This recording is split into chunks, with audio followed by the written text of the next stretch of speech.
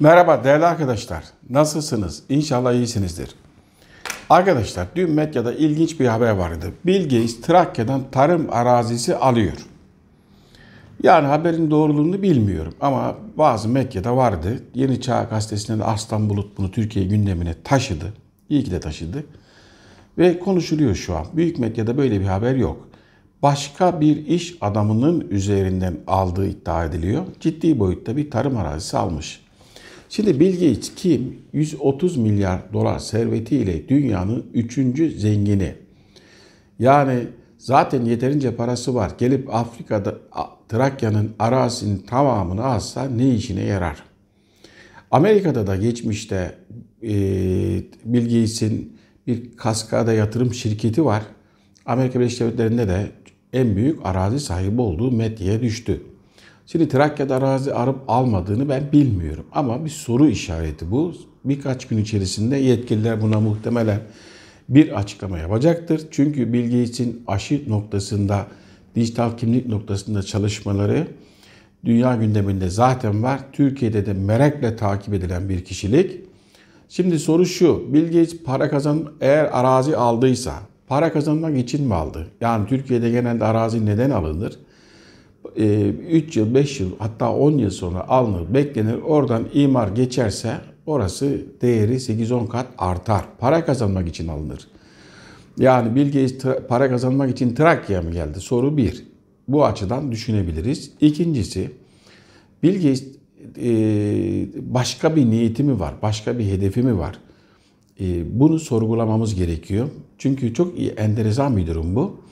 Arkadaşlar genelde şu an dünyada e, tüm dünya için proje yapan insanların parayla işi yok. Benim gördüğüm kadarıyla para kendi plan projelerini, ideolojik ya da inançlarını gerçekleştirmek için kullandıkları bir araç. Parasını Bill Gates Afrika'da doğum kontrolü yapıyor, Afrika'da açlığa müdahale ediyorum diyor, dijital kimliğe müdahale ediyor, mültecilere müdahale ediyor, dünyanın sürdürülebilir enerji kaynakları işte iklime müdahale ediyor filan sürekli para harcayan bir adam var karşımızda.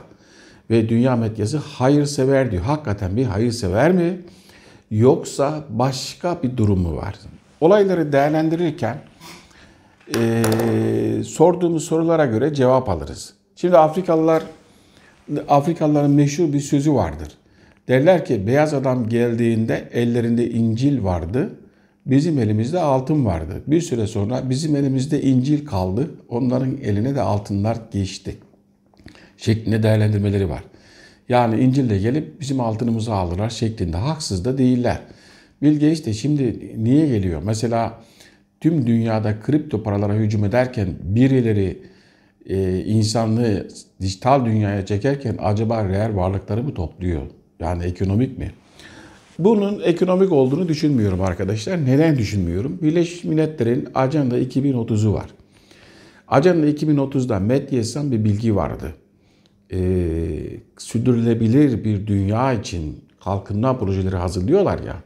Orada tarım, tarıma, tarımın gelecekte nasıl olması gerektiğine dair bir bilgi notunda küçük çiftçilerin tarımdan çekilmesi gerektiğini ifade ediyorlar. Bu Birleşmiş Milletler'den Metye sızan geçmişte bir bilgi.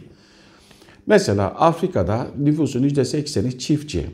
Yani çiftçilikle geçiniyor sonuçta. Hepsi de küçük çiftçi. Bunlar çekilirse ne yapacak? Neyle geçinecek? Tüm dünyada bir strateji var. Büyük şehirlere doğru bir göç var. Köyler, kırsal kesimler boşaltılıyor. Bu anlattıklarımı şimdi tarım politikalarında neyi hedefliyorlar şeklinde bunların düşüncelerini açıkladığımda bu anlattıklarımın birleştireceksiniz arkadaşlar. Sürdürülebilir bir dünya için planladıkları bir şey var. Merkezi bir dünya. Şimdi merkezi bir dünya içinde artık e, köylerdeki, kırsal kesimlerdeki vatandaşların kendi atadan, dededen kalma, kendi kültürleri gereği, kendi know-how, tecrübeleri gereği tarımcılık yapmasın diyorlar. Çünkü böyle tarımcılık yapıldığı için insanlar aç kalıyor. Finansları yok, arazi sürme, işte ekip biçme know-how'ları yok. Yeni bir teknoloji teknoloji kullanmıyorlar. Dolayısıyla bu da açlığa neden oluyor. Bu nedenle daha profesyonel endüstriye şirketlerin sahaya inmesi lazım. Yani dünyada 3 milyar kişi çiftçilikle geçiniyor. Bunun 15-20 milyon düzeyinde bir endüstriye şirkete çiftçiler görevini terk etmesi lazım. Buna yönelik sosyal politikalar geliştiriliyor. Bunun için de sürekli büyük şehirlere yönelik insanlar yönlendiriliyor. Dünyadaki şehir modelinde geçmişte bahsetmiştim. 3 tane model var. Akıllı smart şehirler yani tamamen dijital teknolojiyle donatılmış şehirler. Nefes alsın verseniz bile gece ekranda duyulabilecek, görülebilecek şehirler. Akıllı olan yaşamaz diyorum ben. İkincisi mega şehirler yani tüketici toplumunun yığınlaştığı şehirler. Üçüncüsü de lojistik şehirler. Lojistik şehirler de işte Çin'in bir kuşak bir yol projesi çerçevesinde ortaya çıkan e, mal ve ürünlerin yığıldığı, depolandığı artık e, diyelim ki Alibaba'dan sipariş verdiğinizde öğleyin sizin evinize lojistik şehirlerdeki mal ürün sayesinde teslim edilecek. Dünyada bir tekelleşmeye doğru gidiyor. Şimdi e, Bill Gates bir memur. Marifet Bill Gates'te değil. Şimdi Bill Gates'in bir ID 2020 projesi var. Bill Birleşmiş Milletler destekli ve alt bileşenleri var. Yani dijital kimlik projesi 2020 diyor. 2020'de start verecek. Bill Gates'in bir sağlık sektörüne yönelik projeleri var. Kadınlarda doğum kontrol için Luciferaz tekniğiyle Luciferaz, Lucifer biliyorsunuz 666'nın çocukları Lucifer kendini öyle ifade eder. Şeytan demek. Omuza tatlo şeklinde e, gör, tatlo görünümlü e, tatloda yapılaraktan herhangi bir deride, tende bir biçimsizlik olmasın diye omuzdan bir lüsiferaz yöntemiyle yani mavi ışığı tuttuğunuzda o görülebilecek bir teknolojiyle doğum kontrol 20 yıl bir kadın o teknoloji uygularsa doğum kontrol yapmış olacak. Bu tip çalışmaları var. Yani Bill babası da geçmişte anlatmıştım size. Amerikan Doğum Kontrol sivil toplum kuruluşlarının önde gelen bir ismi. Yani öjenik bunlar, üstün ırkçı. Şimdi Bill dijital kimlik yatırımları var. Sağlık sektörüne var. Kahve Aşı İttifakı'nın en büyük bağışçısı Gates. Enerji sektörüne var. Ee, e, aynı zamanda e, şeyin e, enerji sektöründe çok ciddi yatırımları var. Bir de şimdi geçenlerde bir haber çıkmıştı. Gates ne yapar? E, yerden 12 kilometre yukarıya atmosfere kireç tozu serpmek istiyor. Tebeşir tozu ifade olarak çıkmıştı bu geçmişte. E, ultraviyole ışınlarını dünyanın e, güneşin dünyadan kesmek. Doktor arkadaşlar bilir, sağlıkçılar bilir, genel kültür olanlar da bilir. D vitamini açısından oldukça önemli. Güneş ışınları ve ultraviyole ışınları önemli. İşte dünya ısınıyor, güneşi biz dünyadan kapatalım diyor. Bu arada içimizde beni dinleyenlerden bir avukat varsa bilgisi mahkemeye verebilir. Eğer para yoksa da biz toplayabiliriz. Yani Twitter'dan bir duyuru yapmamız bu noktada yeterli. Öncelikle de ben de veririm. Neden? Dünya bilgisi babasının malı mı ki güneş ışınlarını kimseye sormadan kesiyor? Farkındalık olması açısından bir avukat olaraktan gidin mahkemeye verin. Bence dünyada buna hakkı yok. Sadece 7,5 milyar insanda bir kişidir Bill Gates. Kendine düşen havaya gitsin e, kireç tozu, kireç serpsin. Mahkemede de böyle yani dava, sunacağınız dava dilekçesinde de böyle verebilirsiniz. Bu şimdilik Haziran'da bunu yapacaktı İsveç'te. Bunu erteledi. Dolayısıyla Bill kimliğini ortaya koyduğumuzda ne yapmaya çalışıyor diye ortada bir taşeron görüyoruz, memur görüyoruz. Arkadaki akla bakmamız lazım. Şimdi Bill Gates gıda ve tarımda ne yapıyor? Öncelikle çift, küçük çiftçileri istenmiyor. Bu Bill Gates'in kendi fikri değil. Arkasındaki Birleşmiş Milletler'in endeksli ve onun da arkasındaki 21. yüzyıl dijital dünyasında merkezi bir kontrol sistemi isteniyor. Bu nedenle de tek elden her şey, alışveriş tek elden, eğitim tek elden, e, gıda tek elden, e, dünya genelinde tarım alanında yürütülen politikaları ikiye ayıracağız. Birincisi tarım, ikincisi gıda, gıda ve tarımda. Tarımda neler yapılıyor? İşte Trakya'dan eğer arazi aldıysa bunu böyle değerlendirmek lazım. Tarımda Yeşil Devrim Projesi var arkadaşlar. 1980'lerde başlatılan Afrika'da Yeşil Devrim Birliği var. Şu an Bill Gates, Gates Vakfı en büyük yatırımcılarından biri. Ee, birlik her ne kadar Afrika tarımını geliştiriyoruz dese de Afrika'daki çiftçilerin küçük çaptaki çiftçilerin şehre yığılması projesi bu. Sonuçta bu bunu getiriyor. Mesela Uganda'da başlattıkları bir muz projesi var. Bill Gates buraya ciddi para verdi. Beta karoten var muz. Bunun e, çoğaltılması beta karoten A vitamini ne dönüşüyor vücutta. Bill Gates diyor ki böyle bir biz muz üretirsek Uganda'da 27 çeşit muz yetişiyor. Ama muzu tekelleştirmek istiyor. Yani teke düşürmek istiyor. Her ne kadar tropikal iklimde bunu ilan et, ediyorlar ama sonuçta bunu bilgi için bunu uyguladığı ülkelere baktığımızda Hindistan'dan e, Kenya'ya çok farklı ülkelerde böyle bir muz projesinin peşindeler. Şimdi neden sadece muz mu? Hayır. Mesela Meksika'da uygulanan e, bir e, buğday projesi vardı. 1943'te Türkiye ve Hindistan'a da gönderiyorlar bu buğdaydan hibrit buğday. Gıda konusunda CRISPR gen teknolojisini kullanmak. CRISPR gen teknolojisini çok anlattım. Bugünkü mRNA aşılarının arkasındaki teknoloji. Ee, tek gıda, artık çok çok farklı tohumlar değil, geleneksel tohumlar değil, onların iddiası daha verimli hale dönüştüreceğiz biz tohumculuğu diyorlar. Geleneksel tohumların yerine hibrit, genetiği değiştirilmiş tohumlarla gıdayı artıracağız. Dolayısıyla beslenme problemini çözeceğiz diyor. İddia bu. Ama e, olayı incelediğimizde aslında insanların beslenme şekline müdahale etmek istediklerini görüyoruz.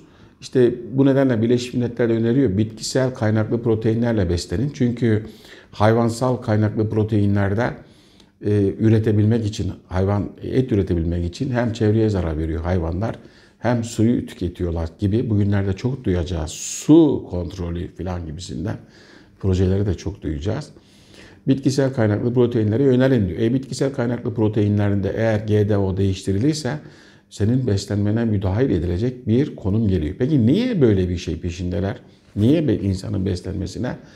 Arkadaşlar dünyada küresel mekanizmayla ulus devletlerin problemleri farklı. Ulus devletler kendi içinde kavga halinde sürekli iktidar, muhalefet, e, hırslı politikacılar bu kavgadan dolayı dünyada ne olup bittiğini anlayabilecek konumda değil. Sadece Türkiye'de değil, dünya genelinde ekranlarda bu tip konular tartışılmıyor. Tartışılması gerek. Kaçırılmaması lazım.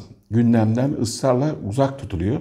Çünkü ulus devletlerin iktidarın ihtiyaçlarına yönelik konuşanlar var. Muhalefetin taleplerine yönelik konuşanlar var. Bitti. Gerisi bizim gibi vatandaşlara kalıyor. Ya nereye gidiyoruz filan diye sorgulayıp duruyoruz. Dolayısıyla Birleşmiş Milletler'in projelerini tek tek ele aldığımızda başka bir tablo sonucuyla başka sonuçta başka bir tablo göreceğiz. Bir e, gıda noktasında Norveç'in altında Spitsbergen adasında, Norveç'in kuzeyinde Spitsbergen adasında dağın 130 metre altında bir kıyamet ambarı dedikleri bir tohum deposu var. Burada dünyanın her tarafından toplanan ana tohumlar buradadır. Orijinali buradadır. GDO'ları piyasada, orijinali burada.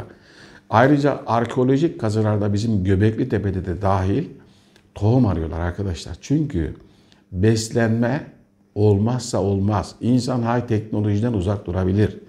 İnternetten uzak durabilir telefondan uzak durabilir ama beslenmeden yaşayamaz. Bu nedenle bir akıl planlı bir şekilde gıda sektörüne organize bir şekilde el attı. Burada da fazla bir şey şirket yok. İşte gübreleme şirketleri var, ilaç şirketleri var. Bitkilere yönelik daha verimli olsun diye baktığımızda isim vermek istemiyorum. Bu şirketlerin ana yatırımcılarından biri de Gates. Birkaç tane Rockefeller gibi birkaç tane şirket var bir tekelleşme söz konusu gıdada. İşte e, amaç insanlığın sürdürülebilir bir hayatı var. Bu da kendi yöntemleriyle insanlığın kendi kendine hayatını sürdürmesinde gıda noktasında tohumu elinden aldığında ne olur? Mesela şimdi Türkiye'de büyük şehir kararları verilmiş. Yeniden. Şaşırıyorum ben. Neden böyle kararlar veriyorsun? Ekonomik olarak bakmayın. Geleceğe bakın. Marmara'ya bu kadar insan var. Yarın bir deprem olsa bunun altından Türkiye'de bir şey kalmaz ortada değil mi? Böyle bir potansiyel var. O zaman nüfusu neden buraya çekiyoruz? Kırsal alana dağılması lazım. Herkes kendi yerinde mutlu olması lazım. Şimdi köylü artık patatesini, soğanını şehirden alıyor. Almanya'dan birkaç gün önce bir arkadaşım mesaj attı. Hocam markete gittim. E, belli alanlarda özellikle kedi maması bulamadım dedi. Tedarik zincirinde problem varmış. Şimdi Birleşmiş Milletler'in de e, geçen yıl e, Gıda Programı Başkanı David Beasley bir açıklama yapmıştı. Gıda pandemisinden bahsetti. Yani şu an biz e, virüsten dolayı bir pandemi yaşıyoruz. O da gıda pandemisinden bahsetti. 3 ay içinde tedarik zincirleri kırılabilir dedi. Daha sonra Süveyş kanalını tıkayan gemi olayını gördük. Onun 3 aylık piyasalara etkisi olabileceğini, o tıkanma sürecini. Çünkü yüzlerce gemi o bir hafta boyunca tedariklerini ulaştıramadılar. Yüklerini merkezlerine ulaştıramadılar. Şimdi tarım alanındaki Yeşil Devrim projesi çerçevesinde diyorlar ki köylüler, küçük çiftçiler tarım yapmasın. Peki ne yapsın? Büyük şehirlere geliyor. Nereye geliyor? Varoşlara geliyor. Dolayısıyla merdiven aldığı işçiler var. Yani sigortasız, sağlıksız şartlarda çalışan. Bir gece konuda 5-6 tane nüfus askeri ücretle veya daha zor şartlarda yaşayan bir kitle oluşuyor. İşte bu kitle yönelik gelişim bir projesi daha var. Diyor ki eğer işin yoksa çalışmıyorsan diyor vücut enerjini bana sat. Buna hazırlanıyor şu an. 666 06 06 06 patent sayılı projesiyle enerjini sat. Koloni bu yüzyılda insan olduğunu zaten söylemiştik. Şimdi vücudumuzun enerjisini nerede kullanıyoruz? Kan dolaşımı bir enerji gerektiriyor. Sindirim bir enerji gerektiriyor. Kas hareketleri, konuşma, göz kırpma, e, mimikler hepsi bir enerji gerektiriyor değil mi? Şimdi o enerjiyi bana ver. Ne yapacaksın? Kripto para madenciliği yapacağım diyor. Hani kripto parayla ilgilenmiyordun? Arkasından da diyor ki ben kripto parayla ilgilenmiyorum diyor. Elon Musk kadar paranız yoksa kripto parayla işine girmeyin diyor. Sonra da diyor ki Bill Gates, Gates Vakfı olarak biz de bir dijital para çıkartacağız diyor. Ee, ve süreçte ne demiştik? Afrikalıların söylediği gibi beyaz adam gelirken elinde İncil vardı. Ee, sonradan İncil bize geçti, altın onlara geçti. Şimdi bu adamlar gelirken ellerinde bir kripto para vardı. Kripto para vatandaşa geçip toprak da bunlara mı geçecek? Soru bir. Şimdi e, pandemi aşağı doğru ülke ekonomilerini aynı zamanda vatandaş ekonomilerini aşağı doğru götürüyor. E, büyük geçenlerde bir haber okudum. Büyük şirketler elindeki gayrimenkulleri satıyorlar, arazileri satıyorlar diye ayakta kalabilmek için. Ve pandemi sürecinde 10 trilyon dolar kadar bir rakam dijital şirketler kar etmiş ekstradan. Manuel yani eski geleneksel fab, üreten fabrikalar, işçi çalıştıranlar zarar ederken bunlar kar etmiş. Şimdi Türkiye'nin arazi varlığına şöyle bir bakın. 1 trilyon dolarla piyasaya giren biri Avrupa'da arazi bırakır mı? Bırakmaz. E, zaten çok para ciddi anlamda. Dünya genelinde e, Twitter'da eski takip eden arkadaşlar analizleri de genelde şöyle diyordum. Yatırım gelecek mi? Evet ama yatırıma değil satın almıyor. Bunun için bekledikleri bir zaman dilimi var. O da tüm ekonomilerin Türkiye'de dahil aşağı doğru gittiğinde tersinden reel varlıkların satın alınması gündeme gelecek. Burada en önemli şey arazidir. Arazi kar için değil, düşündükleri bir proje için yani dünyanın gelecekte nasıl bir dünya istiyorlarsa ona yönelik e, arazi alım, satın alımları söz konusu. E, ya küçük çiftçi çıksın kardeş büyük e, tarımsal büyük endüstri şirketleri bu işin içerisine girsin ve bir ülkede birkaç tane tarım şirketi olsun. Herkes onun ürettiğini yesin. Bu çerçevede birkaç gün önce, çok önceden izlediğim bir film vardı. Birkaç gün önce yine izledim. Filmin ismi Ahmaklar, yabancı bir film. Film 500 yıl sonra geri uyanan iki kişi var. Yaşadığı dönemde en akılsız iki kişi öyle tabir edilen 500 yıl sonra donduruluyor bir saatliğine ama e, bina yıkılıyor, el konuyor, unutuluyor. 500 yıl sonra uyanıyorlar. Orada tarım bitmiyor, bitmiş. Bunlara İçişleri Bakanı yapıyorlar, zeki varsayıyorlar, en zeki olarak da. Tarımı canlandır diyorlar. Bir bakıyor ki enerji içeceğiyle tarımı suluyorlar. E tamam da diyor yani e, bu suyla sulayın diyor. Olur mu diyorlar enerji içeceği her şeye iyi gelir, tarıma da iyi gelir diye bir sürekli suluyoruz. Suyla suluyor, tarım çıkıyor. O sırada herkes enerji içeceğini çalıştığı için iflas ediyor. Bu tür filmler kendiliğinden çekilmez. Aptallaştırılmış kollarında çipleri olan bir şey. Vakti olanlar bu ahmaklar filmini bir izlesin. Gelecekte insanın nasıl bir insan modeli görmek istediklerini buradan anlayabiliriz. Şimdi e, tarım alanındaki proje çerçevesinde Trakya'ya eğer bir geyik gelmişse burada genetiği değiştirilmiş ayçiçeklerle karşımıza çıkılacak demektir. Ya da Trakya'da gündem neyse oraya yönelik bir laboratuvardır. Artık çiftçilikle ilgili kararlar e, çiftçilerin içinde olduğu kuruluşlarda değil, laboratuvarlarda veya endüstri şirketlerinde alınıyor. Çiftçilerin söz hakkı yok. Bitti. Zaten parası da yok. Tohumu da yok. O tohumu ektiğinde ilaca mahkum. Toprak zaten e, uzun süredir yanlış gübreleme sonucu bitirildiği için gübre alacak parası da yok. Dolayısıyla çiftçilikle ilgili kararlar Birleşmiş Milletler'de alınan kararlar aynı şekilde uyguluyor. Tüm dünyada bir şekilde uygulanıyor. Bill geçen yıl 19 Nisan'da Türkiye'de e, onun ekibi bir toplantı yapmıştı. Bu toplantıya Dışişleri Bakanlığı ve Tarım Bakanlığı'yla bir protokol imzalandığı duyurulmuştu. Ne imzalandı? Neden bu beyan edilmiyor? O da enteresan bir olay tabii. Ancak benim kendi araştırmamda daha önce sizlere ifade ettiğim gibi Suriyeli mülteciler üzerine bir dijital kimlik çalışması var. Çünkü iki tane yurt dışından gelen şirket var toplantıya katılan. Onlar dijital kimlik şirketleriydi. Bugün aşı sertifikası, aşı dijital kimliği olarak karşımıza çıkan şeyin altyapısıydı. Dijital kimlik. Diğeri de Tarım Bakanlığı ile yapılan anlaşmayı açıkçası bilmiyorum. Hala da ne olduğuna dair açıklamalarında fayda vardır. Gıda noktasında Bill Gates'in hangi çalışmalar yapıyor? Gıda noktasında e, yapay etin en büyük yatırımcılarından biri Bill Gates. Üç farklı şirkete yapay et yatırımı yapıyor. Zaten tüm konuşmalarında diyor ki e, büyükbaş hayvancılığın insan kaynaklı sera etkisinde yani dünyanın ısınma etkisinde büyükbaş hayvancılığın etkisi yüzde on dört buçuk. Dolayısıyla büyükbaş hayvancılığı biz istemiyoruz diyor. Yani inekçilik. E bizim Tarım Bakan yardımcımız da böyle bir açıklama yaptı.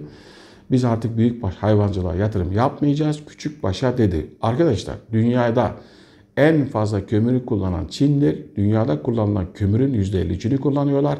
Hava kirliliğinin en büyük nedeni odur. İkincisi de en büyük nedeni kripto para, enerji enerji gideri. Ciddi oranda havayı kirletiyor kripto para madenciliği. Kalkıp ineklere bu şekilde yaklaşmak e, bu ideolojik ve gelecekte planlanan bir dünya kurgusunun ürünüdür. Şimdi geçen sene, bir seneden daha önce Mart, Mart galiba bir video çekmiştim hatırlarsanız. Büyük başlarda korona virüs görürsek şaşırmayın diye e, birkaç gün önce Kars'ta buzağda koronavirüs görüldü. Sahibi bıraktı kaçtı diye bir haber vardı. Bu önce olarak düşünüyorum ben bunu. Çünkü gıda noktasında organik besinlerle etle beslenen insanın fıtratı farklıdır. Daha savaşçıdır, daha enerjiktir, daha mücadelecidir. E, bitkisel beslenenlerle karakter farkı var. Bunu merak eden Google'dan zaten açıp bakar görür. Dolayısıyla hayvansal gıdaların yerine önerdiklerine bitkisel, bitkilerde önerdiklerine orijinal tohumunu bana ver. Ben sana GDOS değiştirilmiş tohum vereceğim. İki, üçüncü bir önerileri var. O da solar protein dedikleri. Yani bir e, kilogram solar protein elde etmek için 15 litre su, bir kilogram soya protein elde etmek için, bitkisi elde etmek için 2500 litre su, 1 kilogram et elde etmek için 15 bin litre su kullanılıyor diyor. E biz o zaman dünyada da iklim çerçevesinde gelen bir kuraklık söz konusu su yönetimine el atalım diyor. Şimdi bizde barajlar dol, battı, bitti haberleri vardı. İşte bu iklimden deniyordu. Ne oldu peki? Son iki aydır barajlar geri doldu. Yani e, şeye baktığımızda böyle bir öyle bir problem yokmuş ama medyada bizi çok etkilemişti o haberler. Dolayısıyla gıda noktasında merkezi bir beslenme şekli. Bu da e, insanların organik etle normal inek etiyle değil şimdilik ineklere bulaşıyorlar. Yarın küçükbaş koyun ve keçilere de bulaşacaklar. Bu aklı iyi tanımamız lazım. Bu adamların şakası yok. Kendi inandıkları bir dünya görüşü var. Pagan inançları var. Ona uygun hareket ediyorlar. Onun gereksini gibi. Nedir o hareket? Ee, o hareket şu arkadaşlar. Nesnelerin internet dediğimiz, internetle her şeyin bir, singularity dediğimiz teknolojik tekillik. Fiziki platformun, biyolojik platformun ve dijital platformun birleşmesi. Neyse var bunun, neyse kötü dersek normal şartlarda teknoloji insana hizmet ettiği zaman bir problem yok elbette ama bu insanlar kendi her şey birdir. O da bizim Tanrımız diyorlar. Lucifer, Lucifer az diyor ya 666 her yerde görüyorsunuz değil mi 666'yı? O da odur diyorlar. Lucifer kendilerinin inandığı Tanrı çünkü. Ve onun biz onun eseriyiz. Yani biz onunla varız. Dolayısıyla her şeyi birse bunu nasıl kontrol eder? Kumanda ile kontrol eder uzaktan. Biz televizyonu kumanda ediyor muyuz? Evet. Bilgisayarı evet. Gözümüzle diyoruz, sesimizle diyoruz, kumandayla ediyoruz. Nesnenin internetine her şey bağlanırsa böcekler, hayvanlar, insanlar mümkün mü? Evet. Şimdi Türkiye'de bir karar çıktı. Bu tüm dünyada öyledir. Bu yıl sonuna kadar köpekler çiplenecek. Çiplenmeyene ceza var. Gelecek yıl sonuna da kediler çiplenecek. Bir ara memleketin eşeklerini çiplemişlerdi. E, medyada filan okumuştuk. Bu hayvan çiplemesi. Böcekler de çiplemeyi düşünüyorlar. Ya da çipli böcek üretmeyi direkt. Ve peki insan çiplenecek mi? Bunu biz ilk 5-6 yıl önce konuştuğumuzda tüm dünyanın konuştuğu bir olay bu. Kafa buluyorlardı bizimle ha ha hi hi filan diye. Pentagon açıkladı. Geçen yıl sizlere çektiğim bir videoda şöyle bir şey vardı arkadaşlar. Ee, eğer derlerse ki biz vücudunuza bir çip takıyoruz. Korona girdiğinde bip diye ötüyor. Bunu takar mısınız, takmaz mısınız? Sizi bu böyle gelecekler demiştim. Pentagon da aynen geçen hafta açıkladı. Biz koronavirüse karşı bir çip üretiyoruz. Vücutta koronayı tanıyor dedi. Şimdi koronadan dolayı dünya genelinde psikoloji bozulmuş, paniklemiş binlerce insan var değil mi? Ama ne olursa olsun bir an önce çip takayım da sokağa çıkayım der mi? Der. Psikoloji bu. Arkasını bilir mi? Bilmez. Dolayısıyla Bill Gates'in Trakya'daki arazi alma işi para işi değil. Büyük bir projenin dünyanın farklı coğrafyalarında, Güney Amerika'da, e, Afrika'da, Afrika'nın her alanında, Asya'da ve Türkiye'de aynı proje devam ediyor. Bu proje çiftçilerin yerinden yerli tohumlar alınaraktan merkezileştirilmiş tohumlarla küçük çiftçilerin e, üretimine üretimden çeki, el çektirerekten e, küçük çiftçilerin men edilmesi işten ve işinden men olan çiftçi ne yapacak? Büyük şehre gidecek. Büyük şehre insan yığmaya çalışıyorlar. Çünkü insanlar dağınık dağınık kontrol edemiyoruz diyorlar. Eğer büyük mega şehirleri yığılırsa havadaki spreylemeden tutun da e, oradaki internet, uydu üstünden internet daha kolay. Şimdi bir dağın, düşünün Rize'yi, e, dağın bir köşesinde 3-5 ev var, bir köşesinde 3-5 ev Nasıl kontrol edecekler? Ama gelin İstanbul'u Kadıköy'de tüm Rize'den daha fazla bir kitle var değil mi? Onun için devlet yöneten arkadaşların ekonomik nedenlerle büyük şehir kararı alıyoruz. Taşıma okul yapıyoruz, köyleri şehre taşıyoruz derken bunun sonucunun bir düşünün. Bunun vebali büyüktür. Küresel mekanizmanın gıda ve tarım politikasındaki ana aklı iyi okumamız lazım. Çünkü aynı akıl dijital kimlik üzerinde çalışıyor. Aşı ittifak üzerinde çalışıyor. Enerji konusunda çalışıyor. iklim konusunda çalışıyor ve proje üretiyor. Lütfen bu projeleri biraz zahmet edin, merak edin. Allah rızası için araştırın. Bu olayların şimdi 21. yüzyılda en önemli şey ne? Veri diyoruz değil mi? Yani veri. Şu an Big Data dediğimiz yapay zeka yazılımları veri üzerinde çalışıyor. İnsan psikolojisini, davranışlarını, her şeyini şu an analiz ediyor. Bizim verilerimiz nerede? Sosyal medyada. Bitkilerin verileri nerede? GDO'lu bitkiler zaten veriye hakimler. Hayvanların verileri aynı şekilde, böcekler de aynı şekilde. daha önce bahsetmiştim. Amerikan İleri Savunma Ajansı, İleri Projeler Savunma Ajansı'nda DARPA denen şeyde e, müttefik böcekler projesinden bahsetmiştik. Böceklere çip takaraktan istedikleri yere hareket ettirmek gibi. Dolayısıyla olayları değerlendirirken magazin boyutuyla değil bir bütün olarak ele almak lazım.